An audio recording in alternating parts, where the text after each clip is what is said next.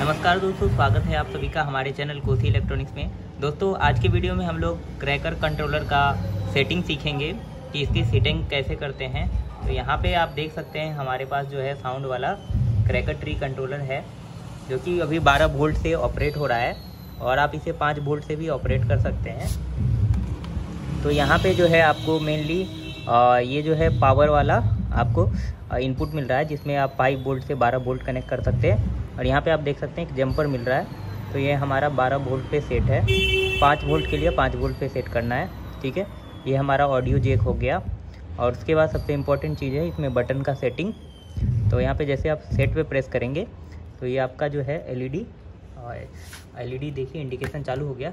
तो यहाँ से आप प्लस पे डाल करके आप देख पा रहे हैं कि हमारा एलईडी जैसे जैसे प्लस करेंगे। आपका इंक्रीज होना चालू होगा।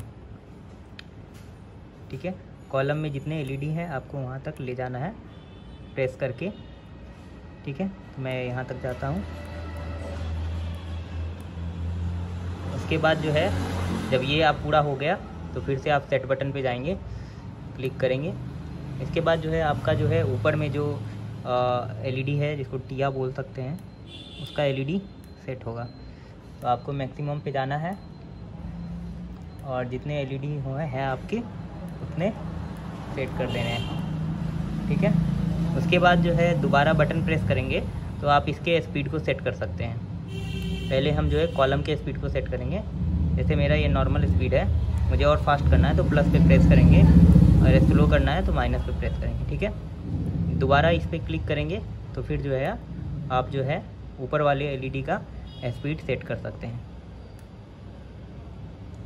सारा चीज़ सेट होने के बाद जो है, आप फिर से यहाँ पे देख रहे हैं। अभी एलईडी ब्लिंक कर रहा है, इसको क्लिक कर देंगे। तो ये आप हमारा देखिए, ये हमारा जो है, चालू हो गया है। ठीक है? तो मैं आपको दिखा दे रहा हूँ।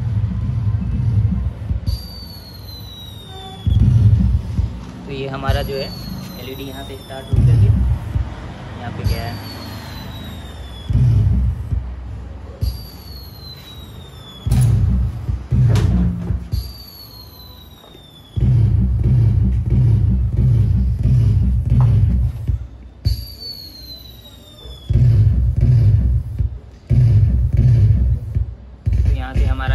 स्टार्ट हो रहा है और यहाँ पे जा रहे हैं। ठीक है? इस तरीके से हमारा ये कंट्रोलर काम कर रहा है।